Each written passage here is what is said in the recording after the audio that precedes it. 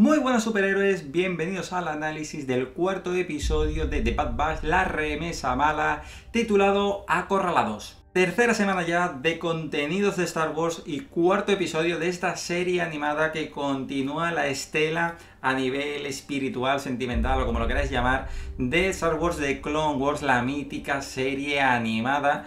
Y tenemos aquí una, como digo, continuación sentimental, pero cada vez va quedando más claro que no hace falta haber visto lo que viene siendo de Clone Wars para poder disfrutar de la remesa mala porque realmente tenemos unos protagonistas completamente diferentes. Lo que sí sería pues interesante que estemos al tanto un poco de haber visto todos los productos de, Star Wars y en concreto para este episodio ya empezamos a tener algún punto de conexión con The Mandalorian, que es uno de los últimos productos que ha llegado además a la plataforma de streaming Disney Plus. Vamos a meternos en faena, aviso de spoilers del cuarto episodio de La Remesa Mala, porque vamos aquí a comentar, a analizar qué tal me ha parecido este episodio. Nada, no me enrollo y dentro intro.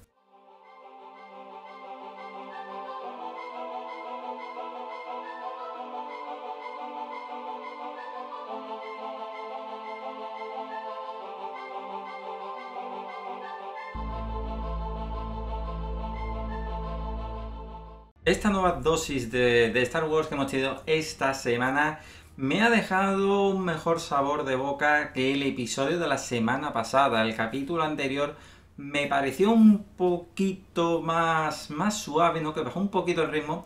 Y aquí volvemos a tener más acción y quizás por eso me ha gustado más. De todas formas, la serie sigue la senda de los episodios anteriores, es decir, no ha cambiado, no tenemos un cambio radical de estilo y de hecho ya con este cuarto episodio vamos teniendo claro en qué línea se va a mover esta, pues esta serie animada que recordemos se va a extender todavía pues prácticamente hasta, hasta agosto, ¿no? Tenemos episodios todavía por delante, así que vamos a, poder hacer un buen análisis de la evolución que va teniendo. Lo que sí me ha dejado claro este episodio es que estamos ante una serie muy, muy family friendly, ¿no? Como se le suele decir, muy orientada hacia el público más infantil. De hecho, es una serie que me está recordando mucho a lo que fue en su momento Star Wars Rebels incluso a las primeras temporadas. No sé si va a pasar como con Rebels, que la serie sufrió un, cambio, sobre todo a partir del final de la segunda temporada, y ya en la tercera eh, se puso, empezó a poner ya un poquito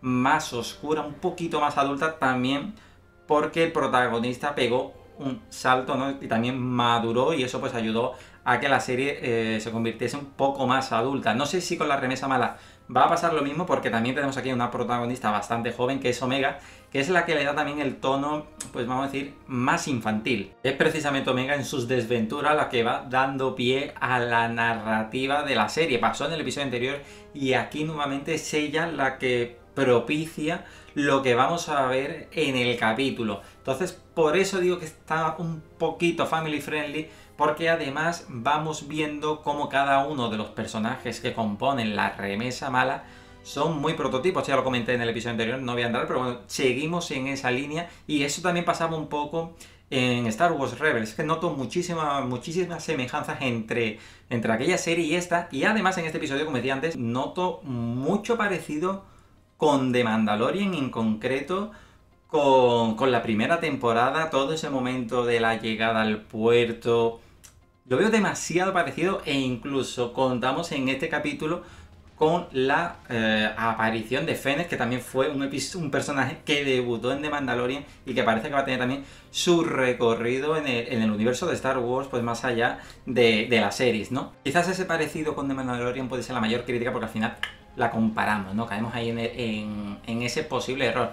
Pero bueno, yo rompo una lanza a favor de, de la remesa mala, me está gustando, lo veo como un producto de animación, lo veo como un producto realmente para echar el rato y además vamos ahondando, vamos profundizando en según qué aspectos del universo Star Wars. En este caso concreto, pues vemos de nuevo a Fennec. Me gusta que hayan recuperado a este personaje, ya sabíamos por las promos que iba a regresar y lo tenemos aquí. Y además vemos que aunque tenemos una versión bastante más joven del personaje, aquí sigue siendo igual de letal, igual de peligrosa, con las mismas habilidades en el combate cuerpo a cuerpo, con también muy buena puntería. Me gusta eso y además apunta que vamos a seguir viendo a este personaje a lo largo de la serie animada. Entonces, yo creo que mientras se muevan en esa línea, igual que han hecho con las anteriores series animadas, igual que ha pasado con The Clone Wars y igual que ha pasado con, con Rebels, se han movido en una línea para todos los públicos al mismo tiempo que han profundizado en el lore de Star Wars. Y esto apunta a que va a ir por esa línea, porque es también un poco la estela que suele seguir Dave Filoni, ¿no? Él ahonda en, en el universo Star Wars pero con pequeños productos que después cuando los ves en conjunto crecen, se, se, ve la maravilla, todo lo que aporta la serie en su conjunto. Y creo que la remesa bala va en esa misma línea. En definitiva, este episodio ha quedado un poco reducido a la acción. Normalmente tenemos el paralelismo con The Mandalorian de que llegan a un planeta, tienen que hacer algo corriendo y al final se acaban, acaban saliendo escopetados. Ya llevamos esa senda pues a lo largo de, pues, de estos episodios anteriores. Y bueno, me gusta, tiene ese ritmo frenético y por eso también me ha gustado más este episodio que el anterior. Y vamos avanzando también hacia quién o qué es Omega. Ya la remesa bala ha tomado conciencia de que Omega oculta algo. Hay alguien que está muy interesado eh, en Omega y de hecho han contratado un caza recompensas para recuperar Omega. Ahora la pregunta es, ¿quién quiere a Omega? Una posibilidad podría ser el Imperio, pero si nos ponemos a ver los primeros episodios, Omega estaba allí mientras estaba también Tarkin. Y tampoco le prestó especial atención eh, Tarkin a Omega. Entonces yo por eso se echaría al Imperio. Otra opción que se me plantea es que pueden ser los caminoanos porque quieren crear ese clon superior. Pero al mismo tiempo me choca porque en los primeros episodios de la serie animada, cuando se escapa Omega, ellos como que están contentos, ¿no? Como que haya podido encontrar una manera de escapar de camino porque sabe que la cosa se va a poner muy complicada. Y no me cuadraría que ahora de repente quieran ir eh, detrás de ella y además hayan contratado un caza recompensas.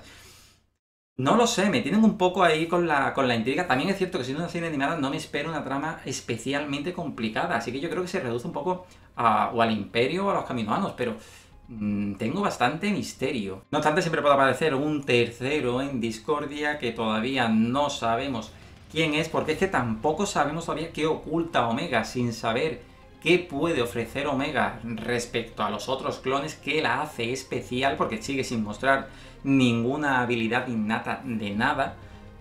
Nos es complicado, eh, pues ahora mismo teorizar sobre, sobre quién la quiere. En otros frentes, este episodio nos sigue mostrando cómo se va extendiendo el, pues la influencia del imperio, ¿no? Normalmente tenemos aquí eh, el código de cadena, la implantación de este nuevo código de cadena para tener controlada pues a la población, ya lo vimos al principio de la serie, y yo creo que esta también es la parte interesante de todo esto, lo que coincidimos casi todos los fans, que esta es la parte jugosa también de, de esta serie animada, es ver cómo está el imperio, cómo está Palpatine engañando y diciéndoles o haciéndoles creer a la, a la población galáctica de que el salto de la república a la, al imperio es lo que hay que hacer, ¿no? Es un poco eh, el, el, paso lógico y que todo esto va a ir a mejor. Me gustaría que eh, se viese también cómo el pueblo va dejando de creer en el imperio y vamos viendo cómo se empiezan a crear facciones diferentes, como planetas que están en contra, planetas que están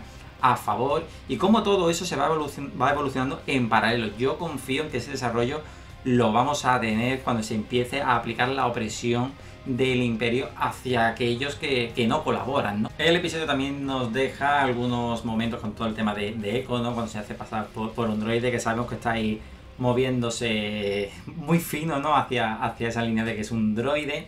Y tenemos también pues guiños a los fans, por ejemplo el tema de, de Pantora, que ya fue pues localización de, algún acontecimiento en la serie animada Star Wars de Clone Wars en la, en la cuarta temporada. Y además también tenemos ese, ese cameíto de, de Josh Lucas. O sea, está todo ahí muy hilado para los fans. Y tenemos también la mención del planeta Flor, lo que parece que si no me equivoco, esa localización es nueva en el universo Star Wars porque además en la propia serie animada dicen que ni tan siquiera está habitada. O sea, no sé si esto va a ocultar algún secreto a futuro, pero bueno, parece un nuevo planeta que sumar al mapa galáctico del universo Star Wars. En resumen, un capítulo cargado de acción, muy trepidante. Eso es lo que ha hecho que a mí me guste muchísimo más. Me ha encantado la incorporación de Fennec, creo que ha sido un acierto y también que sea un personaje que vaya a continuar a futuro y que también pues eh, la propia remesa mala, que, que el propio Hunter ya sea consciente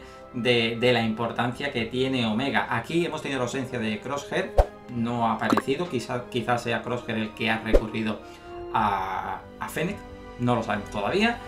Pero bueno, vamos, vamos teniendo nuevos elementos en, en la serie animada que nos va enganchando poquito a poco. Y nada más superhéroes, este es mi análisis del episodio. Quiero saber qué os ha parecido a vosotros y cómo estáis disfrutando la serie animada. Nos seguimos viendo. Adiós.